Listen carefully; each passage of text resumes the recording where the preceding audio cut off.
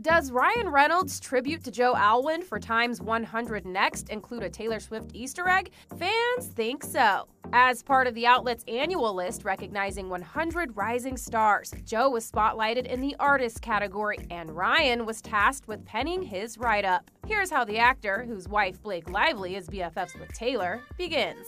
I've known Joe Alwyn for six years, and that's long enough to see someone's heart, long enough to know whether or not they're made of good stuff. And Joe Alwyn is made of good stuff. At first glance, it may appear to be one friend just showing love to another, but the list's published date, September 28, also happens to be the exact day Joe and Taylor are rumored to have went on their first date in 2016, six years ago.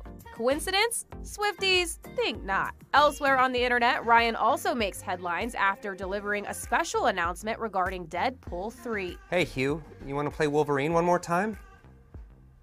Yeah, sure, Ryan.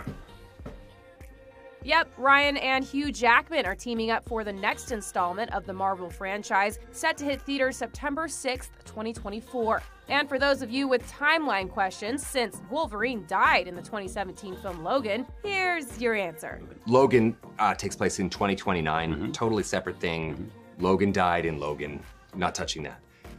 What actually happens in our film is these two.